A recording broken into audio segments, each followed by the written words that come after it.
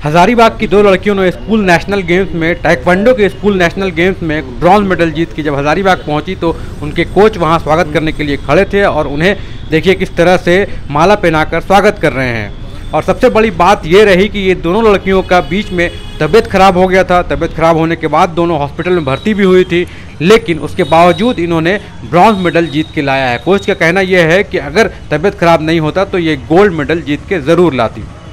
जोहार हज़ारीबाग मैं, फैज़ अनवर, आप देख रहे हैं जोहार हज़ारीबाग 66 नेशनल गेम्स में स्कूल नेशनल गेम्स में हज़ारीबाग की दो लड़कियों ने ब्रॉन्ज मेडल जीत के यहाँ पे आई है। और सबसे बड़ी बात यह है कि बीमार पड़ जाने के बाद भी इन्होंने मैच खेला और मैच ब्रॉन्ज मेडल भी जीता है। पूरे इंडिया से लोग आए थे टेक्वांडो खेलने के लिए और इन लड़कियों ने हज़ारीबाग का ज़बरदस्त परफॉर्मेंस किया। ये जानते हैं पूरा स्टोरी इनसे मेरा नाम वनीता पराशर है। मैं दिल्ली खेलने गई थी। S G F I national 66 games जो हुआ था प्रयागराज स्टेडियम में।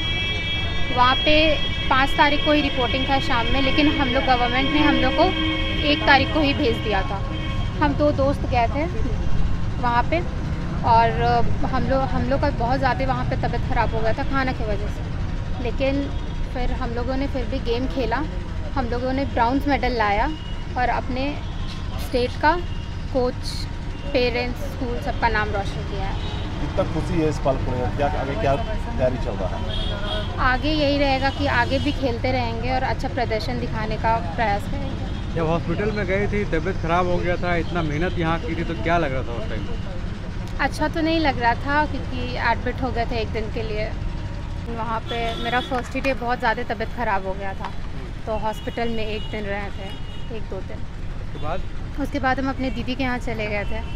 फिर जब फिर अपने मैच के दिन आए थे मैच खेले। फिर वहाँ पे भी मेरा थर्ड मैच में प्रॉब्लम हो गया था। तो फिर खेल नहीं पाए थे छोड़ दिए थे। मेडल जो मिला है वो? हाँ वो दो मैच निकाले थे। अच्छा, दो मैच निकाले अच्छा, आपका कैसा रहा परफॉर्मेंस ठीक रहा लेकिन बहुत ही ख़राब हो गया था सिल्वर मेडल के टाइम फ़र्स्ट राउंड जैसे निकालने उसके बाद सेकेंड राउंड से बहुत ज़्यादा तबीयत ख़राब होने लगा वीकनेस होने लगा. और खाना सही ना होने के कारण हम लोग ख़राब हो गया मैच डाइट प्रॉपर नहीं था हम लोग का. तो रोशन बताइए लड़कियों के बारे में कहाँ से आ रही हैं अभी और जीत के आ रही हैं? हाँ। ये अभी दिल्ली एनसीटी त्यागराज स्टेडियम में 66 नेशनल स्कूल गेम्स हुआ था। हम्म। उसमें हमारे बच्चे झारखंड टीम से सिलेक्ट थे। जो कि गए हुए थे खेलने के लिए। मैच चल रहा था कंटिन्यू झारखंड सरकार के द्वारा सारे फैसिलिटी होने के बाद भी बच्चे को अच्छे से डाइट प्रोवाइड नहीं हुआ, जिसके कारण दोनों ही बच्चे एडमिट हो गए थे हॉस्पिटल में। दोनों एक एक ने तो क्वार्टर फाइनल निकाल के सेमीफाइनल में अचानक तबीयत ख़राब हो गया, जिसके कारण बच्चे को सेमीफाइनल मैच क्विट करना पड़ा। नहीं तो हमारे बच्चे का स्वर्ण पदक रहता। आज आज नहीं, कितने साल से बच्चे लगातार स्वर्ण पदक मार रहे हैं, वो भी नेशनल लेवल पर। अभी क्या आया अभी ब्रॉन्ज मेडल आया और ब्रॉन्ज मेडल में तो बच्चे थोड़ा सा नाखुश हैं लेकिन फिर भी जितना आया अब उसी में आदमी को संतुष्टि करके चलना पड़ रहा है।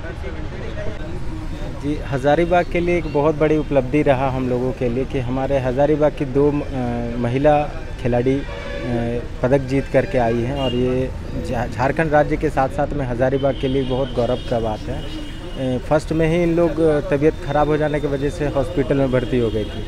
और किसी तरह से इन लोगों को हौसला देते हुए लगभग इसका देख देख रेख करते हुए वहाँ पे उनके गार्जियन थे और तब खेल पाई और खेलते के साथ में पदक भी जीती। बहुत ही गर्व हुआ हम लोगों को सुन कर के कि दोनों खिलाड़ी हम लोगों का पदक दी और दो और लड़के में भी खिलाड़ी थे। किसी कारण उनका नहीं वो मेडल लग पाया हाथ में। लेकिन फिर भी प्रयास वो लोग करेंगे और हम लोग उनका साथ देते हुए आगे जो राष्ट्रीय स्तर पर प्रतियोगिता होगा उसमें कोशिश करेंगे पदक देने का।